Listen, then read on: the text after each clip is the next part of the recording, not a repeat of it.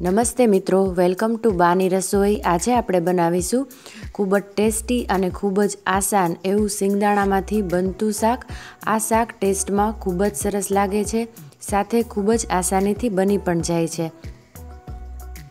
તો ચાલો આપણે તેની રેસીપી જોઈ લઈએ. ખૂબ જ ટેસ્ટી એવું સિંગદાણાનું શાક બનાવવા માટે અહીં આપણે બે કપ કાચા સિંગદાણા લીધા છે. હવે ત્યારબાદ આપણે એક કુકરની અંદર બધા સિંગદાણાને એડ કરી દઈશું અહીં આપણે કાચા સિંગદાણાનો જ ઉપયોગ કરવાનો છે. હવે ત્યારબાદ આપણે તેની અંદર એક ગ્લાસ પાણી એડ કરી દઈશું હવે ત્યારબાદ તેની અંદર અડધી ટીસ્પૂન જેટલું નમક એડ કરી દઈએ અને ત્રણ વિસલથી આપણે સિંગદાણાને બાફી લઈએ. સિંગદાણા બફાય ત્યાં સુધીમાં આપણે શાકની બાકીની તૈયારી કરી લઈએ. તેના માટે અડધો કપ કાચા સિંગદાણા લેશું અને એક મિક્સરના જારની અંદર તેને એડ કરી અને તેનો પાવડર બનાવી લઈએ. અહીં આપણે મિક્સરને ચાલુ બંધ ચાલુ બંધ એ રીતે કરશું એટલે આનો એકદમ સરસ પાવડર બનીને તૈયાર થઈ જશે. હવે બે લીલા મરચાં ચાર નંગ લસણની કળી અને આદુના બે નાના ટુકડાને આપણે મિક્સરના જારની અંદર એડ કરી દઈએ અને તેને બ્લેન્ડ કરી અને તેની પેસ્ટ બનાવી લઈએ.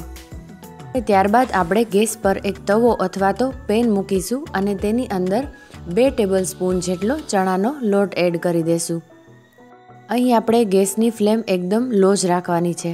લો ફ્લેમ પર આપણે ચણાના લોટને સારી એવી રીતે શેકી લેશું.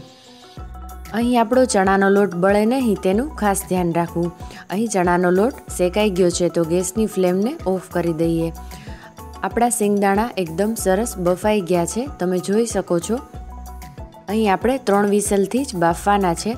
હવે આપણે ગેસ પર એક પેન મૂકીએ અને તેની અંદર ચાર ટેબલ સ્પૂન જેટલું તેલ એડ કરી દઈએ. હવે આપણે ત્યારબાદ તેની અંદર એક ટીસ્પૂન જેટલું જીરું એડ કરી દઈશું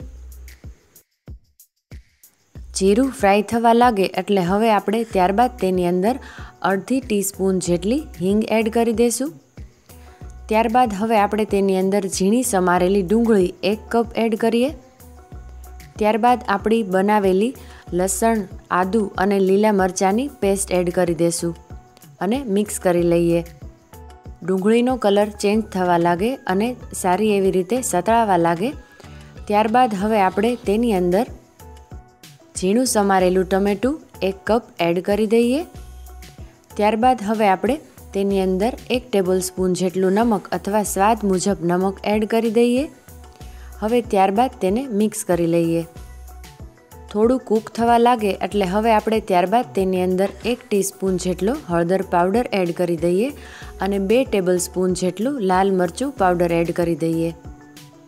આટલી વસ્તુ આપણે એડ કરી દીધી છે, તો હવે આપણે ત્યારબાદ તેની અંદર શેકેલો ચણાનો લોટ એડ કરી દઈશું ત્યારબાદ એક ટેબલ સ્પૂન ધાણાજીરું પાવડર એડ કરી દઈએ.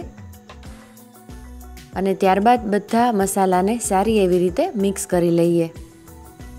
એકથી બે મિનિટ માટે આપણે તેને કૂક થવા દેશું.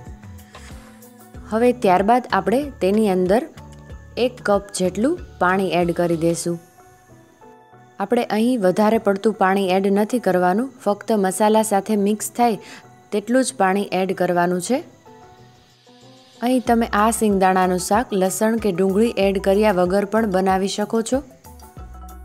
થોડું તેલ છૂટું પડવા લાગે એટલે હવે આપણે ત્યારબાદ તેની અંદર સિંગદાણાનો જે પાવડર બનાવેલો હતો તેને એડ કરી દેશું અને મિક્સ કરી દેશું.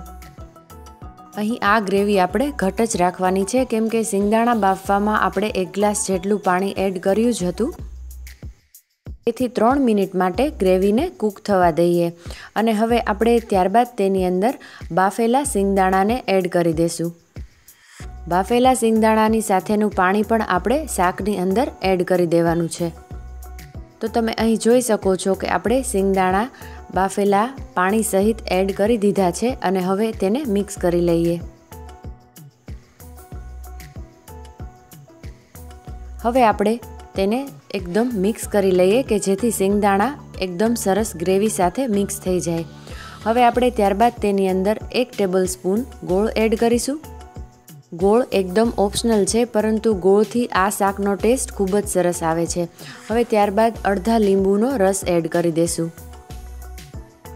હવે આપણે ત્યારબાદ પાંચ મિનિટ માટે શાકને કૂક થવા દેશું. અહીં તમને શરૂઆતમાં આ રીતે તેલ ઓછું હોય તેવું દેખાશે, પરંતુ જેમ જેમ કૂક થતું જશે શાક, તેમ તેમ તેમાંથી તેલ છૂટું પડવા લાગશે. હવે ત્યારબાદ તેની અંદર એક કપ જેટલી ઝીણી સમારેલી કોથમીર એડ કરી દઈએ અને એકદમ મિક્સ કરી લઈએ. આવી રીતે કોથમીર એડ કરી અને મિક્સ કર્યા બાદ હવે આપણે ગેસની ફ્લેમને ઓફ કરી દઈએ. અને ગરમા ગરમ સિંગદાણાનું શાક આપણે સર્વ કરી લઈએ. તો તૈયાર છે આપણું ખૂબ જ ટેસ્ટી, ખૂબ જ ઇન્સ્ટન્ટ અને ખૂબ જ નવું એવું સિંગદાણાનું શાક. આ શાક તમે રોટલી, પરાઠા કે પછી નાન સાથે જમશો તો ખૂબ જ સરસ લાગશે. તો આ રેસીપીને એકવાર ચોક્કસથી બનાવજો. રેસીપી સારી લાગી હોય તો વિડીયોને લાઇક અને શેર જરૂરથી કરી દેજો. હજી સુધી તમે જો મારી ચેનલને સબસ્ક્રાઈબ ના કરી હોય, તો સબસ્ક્રાઈબ કરી દેજો, સાથે બાજુમાં રહેલા બે લાઇકનને ક્લિક કરી દેજો, જેથી તમને નવી નવી રેસિપીના નોટિફિકેશન સૌથી પહેલાં મળતા રહે. ફરી મળીશું એક નવી ઇઝી ટ્રેડિશનલ અને યુનિક રેસિપી સાથે. Thank you.